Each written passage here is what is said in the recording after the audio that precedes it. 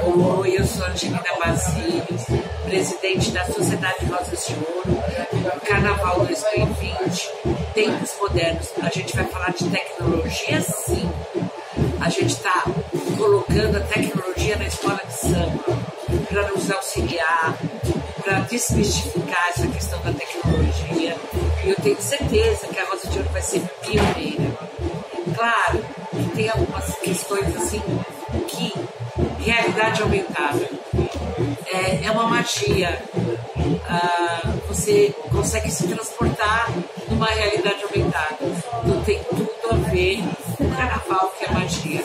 E também a tecnologia pode nos auxiliar no desenvolvimento dos carros alegóricos.